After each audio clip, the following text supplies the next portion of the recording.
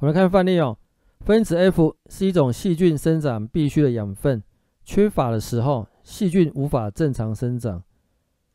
细菌从环境中吸收 A 分子之后，再利用 A、B、C 株 E 这五种酵素催化一连串的代谢反应。五种酵素中的三种酵素基因 A、B、C 位在相同的操纵组，然后这个操纵组受到细菌体内 F 浓度的回馈抑制。好，回答问题，标示出操纵组的三跟五。三跟 RNA 聚合酶结合，这个是启动值。那五就是操作值。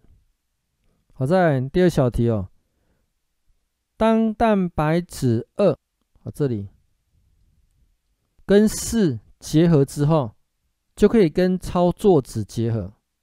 这个跟大肠杆菌的色氨酸操纵组一样，所以这个是一个共同抑制物，抑制结构基因的表现。好，所以这个蛋白质二它是一种抑制蛋白。分子四是反应式中的哪一个分子？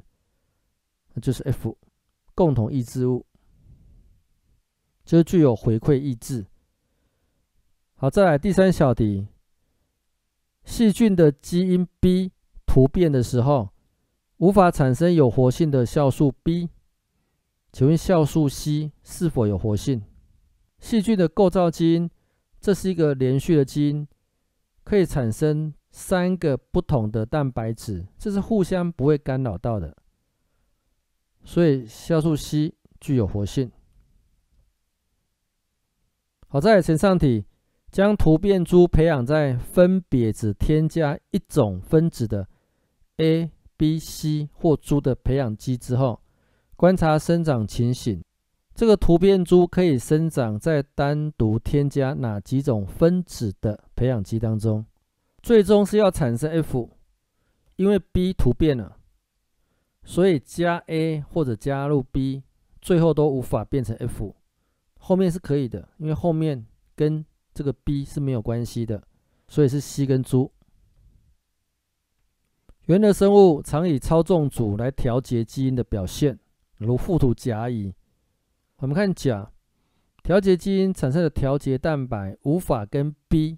结合 B 就是操作值，所以后面结构基因就可以表现出来，产生相对应的蛋白质。然后乙图调节基因跟这个 G 结合之后，就可以跟这个操作子结合在一起，把整个操纵组关闭，所以后面的结构基因就无法被表现出来。这个就是色氨酸的操纵组。我们看到第一题，判断有关此操纵组的叙述何者是正确的？这个模式跟色氨酸操纵组一样，对，抑制型的操纵组。好，B 选项，结构基因可以合成三种蛋白质，一到五五种。好，再来，G 是共同抑制物，不是诱导物。再来，D 选项，小 b 是操作值，不是启动值。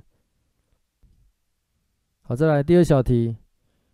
下列有关图中猪到一的叙述，哪个是正确的？猪到一这个是转译，错了。B 选项在细胞质进行。